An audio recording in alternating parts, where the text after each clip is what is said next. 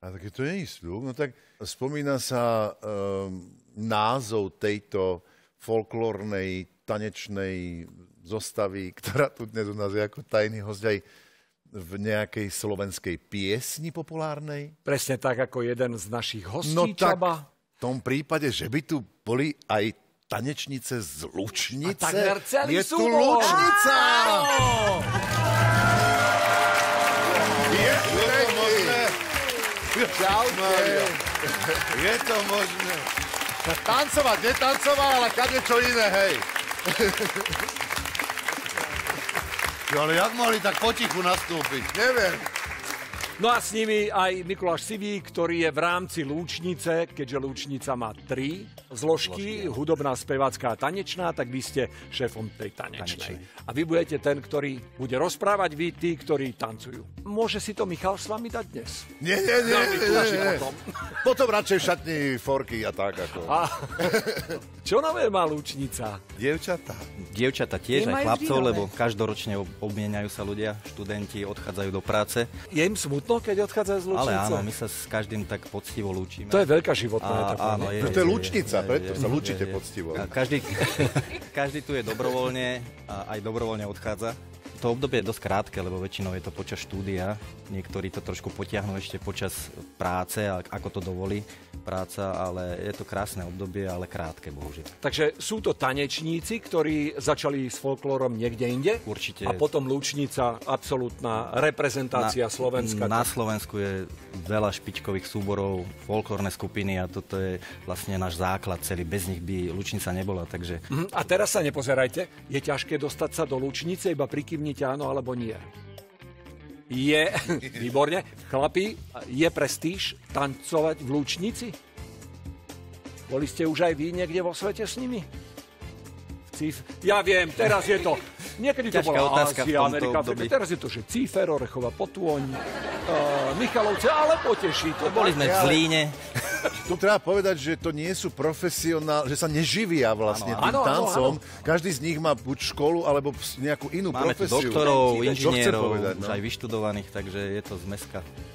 Ale je to obrovská drina, ten tréning. Koľko musia denne trénovať, aby, tak, aby takto krásne tancoval? Pre nás je priorita tie predstavenia každoročne, takže už sme, máme úspešne jednu sériu za sebou s programom Slovenský triptych po Slovensku. Ideme ďalej v lete, zase s programom Štefana Nosala, čo sú veľmi žiadané tance, keďže to je taká, také, taký zlatý fond Lúčnice.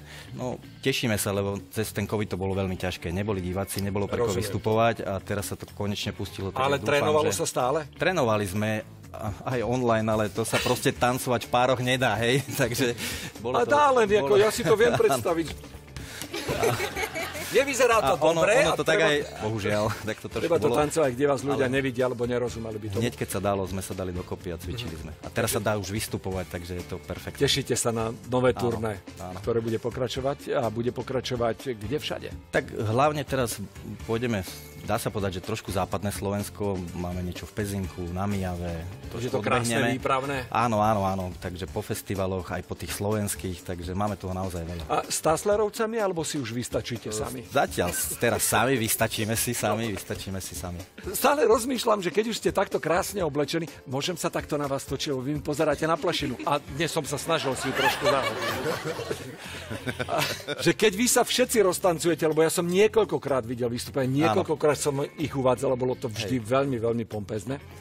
Tak vy nám zrúcate štúdio, keď tu No, začnete robiť potrebovali šéf väčšie dupáky. štúdio, A áno, vyberieme pár párov, ktoré by sa na to hodili. Mohli by sme vyskúšať 1, 2, 3 páry, že tu sa možno zmestíme trošku. Dobre, aspoň je to symbolicky. dobrovoľné, alebo máme vybrané? už? Máme už pripravené, neriskujeme nikdy takú dobrovoľnú činnosť. Dobre, lebo ostatní sú len komparzisti a iba mali voľné kroje, traja vedia tancovať a, a tí to teraz dajú. Samozrejme, Lúčnica je vždy pompezná, je to, je to tá najkrajšia reprezentácia Slovenska, pri ktorej vôbec netreba slova, je to ten medzinárodný jazyk, ktorý sa vyjadruje Taneč. tancom a veľmi sme na to pyšní. Tak teda, ďakujeme veľmi pekne. Aj my ďakujeme. A Mikuláš Sivý je šéf tohoto tanečného súboru, ktorý teraz uvidíte a celý sa volá Lúčnica. Bravo.